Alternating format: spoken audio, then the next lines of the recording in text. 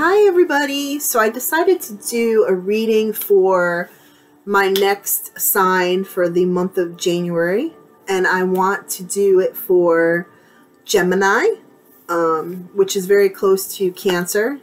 Um, and this is going to be generally for the next month, and then usually it'll do a year out at the end, the last three cards. The decks I'm using are the same decks I used in my last video, and one of them is Native Spirit, which I use for questions, specific questions, um, as well as the Cosmic Tarot, Tarot, which is one of my favorites because it has to do with the universe and the planets and those cards. I just, I have to tell you, these cards are so amazing for symbolism because I don't read, um, I don't do this, the reading of the deck meaning like book book taught like I said in my last video um, I read from the symbolism of the deck so I am not taught in tarot. I am a spirit communicator and reader and seer so just so you know in case you're checking out this video and didn't watch the cancer one that's the type of reader I am. I probably do a video that says what kind of reader I am so people understand. And then I'm going to be using the Egyptian deck. This is the Cosmic Tarot book. And then the oh I love Egypt and I'm a big Anubis uh, Anubis is one of my dads so um he's a psychopomp like me and if you don't know what that means that's a person who guides people to the other side and he's the bearer of the gate to the underworld or you know to the other side where the dead are so we're very connected. So I'm going to pull a couple cards from that deck um, in general for the Gemini sign for Cancer, Cancer, I mean for Gemini for the month of January. I just did Cancer. So if you're interested, go check out my other video. What do you have for the month of January for Gemini? Need to burn some more sage in here. I love the smell of it, but um, so I'm going to do three cards, and I will share the image with you in a moment.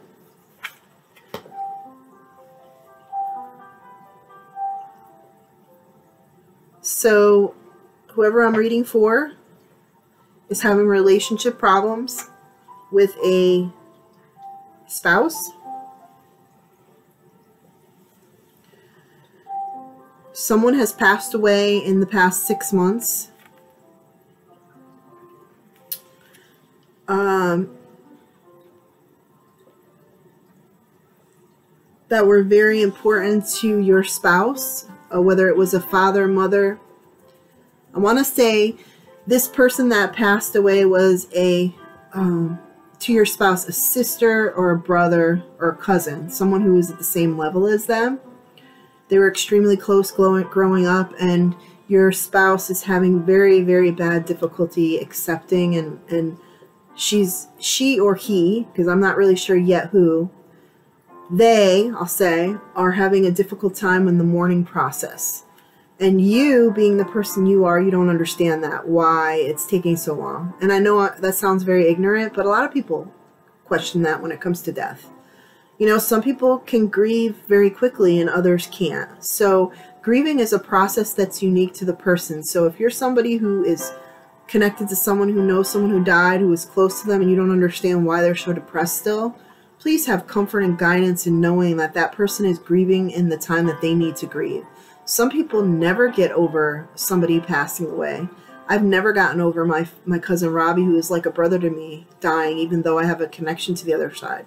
I think that's the only comfort I have in his death is that I could still communicate with him. But grief is unique to each person, so have comfort in knowing that, and please give this your spouse time. They will get through it, and they will always be sad and reminded of this person's dying death because I think it was very sudden. So please be comfort. Please tell them to know, support them a little bit more. Just understand them, give them time. You are a very stubborn person who knows that she's mourning this per he or she is mourning this person and you want to be that person that they can come to however you feel awkward about death so that's why and a lot of people are like that just be nice you know like it, make dinner one night, clean up the dishes, do laundry, do something that's going to be something you normally wouldn't do that's out of character for you as a gesture so that they don't have to do it. Maybe they're they're sad that day. You know, not a lot of people show their emotions when they're mourning to their spouse or their significant other if you're not married. Um, some people have a hard time with that. You're always this person that I'm reading for, the Gemini, you are very wish-washy when it comes to you're very wish-washy when it comes to tradition or consistency. And I don't know how to explain this. For instance, I'll give you an example. So your spouse or your significant other wants to go out to dinner. You're very indecisive all the time. You're wishy-washy. I hope that makes sense you know, you're like, I'm not sure, then you want one thing, you don't want another. So your spouse or your significant other gets mixed messages from you because you're always changing your mind. And what I mean by that is you may be somebody who likes the same meal every time when you go to the Japanese or Asian restaurant, right? Or sushi. And then all of a sudden you change and then you expect them to know that you changed what you like there. So you've been going the, you know, 12 times with them and got X, Y, and Z, and now you want LMN, LMN. And you and then you get offended because they don't know that. That's the kind of person you are. You're very wishy-washy. You need to be more forthright. You need to be more, um, I don't want to say, I'm trying to think of the right term. I don't want to say predictable because that's not the word I mean. You gotta be more forthright. You gotta, you know, you gotta. Spirit is showing me that you need to be more. Well, actually, you know what Spirit's telling me is you need to have balls. So I think this is a guy I'm talking to, a Gemini guy. And Spirit's saying that you need to get some balls and stand up for yourself and stop being wishy washy. Because the Spirit's showing me that whoever your significant other is, whether it's same sex or opposite sex or whatever, is you don't stand up enough to them. So that's why I see balls. So that doesn't necessarily mean you're a male. I'm sorry. I'm going to refrain from what I said earlier, a little while ago, a couple minutes ago. See, I have very male energy. Okay. I have very much male energy. I balance my male and my female energy, yin and yang, right? Um, I have more male energy. So I'm always the male in the relationship. I have, I, I don't know how to explain that because it's not really a sex thing. It's more of a yin yang thing this person that's coming through has a female energy, but is I feel is a male possibly, but they don't have that male energy. So I hope that makes sense. That's why I said get some balls. And I don't want to offend anybody, but that's how I feel. It's like I have bigger balls than most men that I know. And I'm not saying that about anybody that I'm friends with here. I'm just saying in general in life, I feel like I'm always the one who is more like a man than most of the men that I've been with in relationships and other things. So I'll get that out there. Hopefully I didn't offend anybody because I didn't mean anything against guys. That's why when I was growing up, I was more friends with guys because I don't want the drama of the women who's who's doing who and who's got makeup and whose hair looks great. What color shoes do you have? I'm so not about that. So that's why I'm saying I'm more male energy. So I hope I got that out there. I'm going to ask about this uh, wishy-washy person that I'm reading for. If you're this person and this resonates with you, I'm sorry I'm being so blunt the spirit is making me be blunt because they feel that you need to snap out of it because you're causing stress and anxiety to your your relationship, whether it's a spouse or uh, or just somebody you're in a relationship, long term relationship.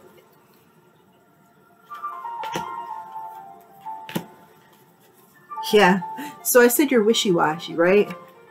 Shapeshifter. Come on, dude. Like, seriously, whoever you are that I'm reading for, stop being wishy washy. Stop hiding behind whatever you don't want this person. This person is the person you're going to be with. Like, be who you are. Stop being wishy washy. Don't just change because other people are changing. Don't be that prissy person that, you know, oh, I'm going to go to the restaurant and for the last six times with this person, I've gotten this. And now all of a sudden it's too good for me and I need to get something else. I just think this is funny. This reading is just going a whole different way than I thought it would go. But hey, I'm blunt if anything. So if you don't like bluntness, then you're not going to like these readings because that's exactly who I am.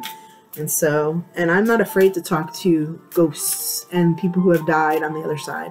A lot of readers don't like doing that. And I'm sorry, but they bring through a lot of information that the cards don't bring through or that I can't bring through. So, if I do get spirits, when I do private readings, I give a choice of what kind of reading you want. And if you're somebody who's going to reach out to a spirit, right? If you want to reach out to someone who's died, I specifically tell you the reason why those readings are slightly more than a tarot reading because they take so much out of me and because whoever comes through is going to come through.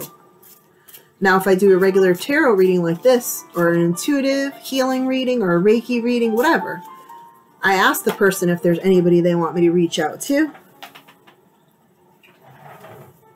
And a lot of people say no. So, I mean, it just depends. And so now I was shuffling the deck, and obviously you saw a card fill out.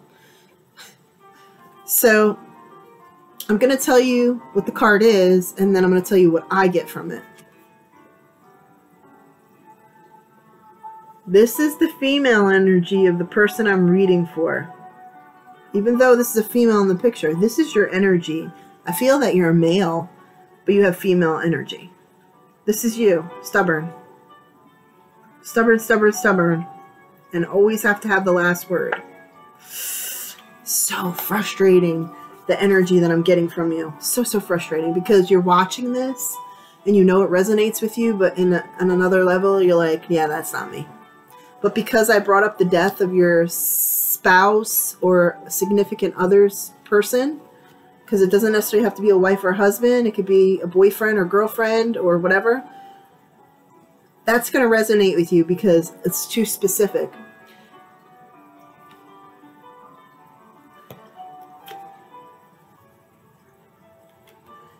The significant other in your life is going to, in eight months or so, really start to not mourn as much they're going to start to appreciate life more and realize how short life is and how blessed they are. Um, right now, it's just hard. It's just difficult because you're angry at whatever God you believe in or whatever path you believe in that they took away this person. So it's tragic. It's tragic. And you need to be patient with this person. Whoever I'm reading for, you need to be patient for your significant other.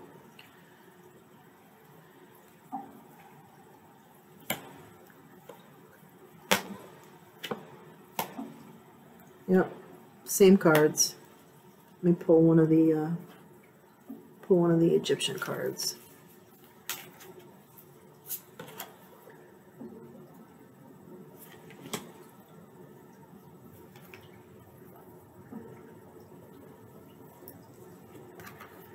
Whoever this is I'm reading for in Gemini, you need to be more patient with your significant other especially this month. Going into February, you're going to start realizing that you need to work on yourself a little bit, meaning spiritually, whether you're religious or you, you know, whatever path you believe in, you need to pray, meditate. Uh, what's the word I want to use? You need to connect with the environment more, whether that's going to the gym, going outside, fishing, hunting, uh, hiking, something like that. And you need to spend more time with your significant other doing things they like to do versus what you like to do. Not being selfish. I also see that one of you is going to need a new vehicle in the next six months. I'm not sure which. I want to say you more than them. Something's just going to happen. The car's going to break down and it's going to cost too much money to fix and one of you is going to have to make that decision and you will find the right choice. Um,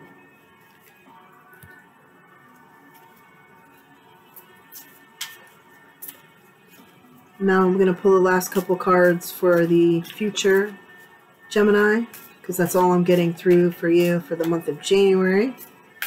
So we're going to pull a couple cards for the future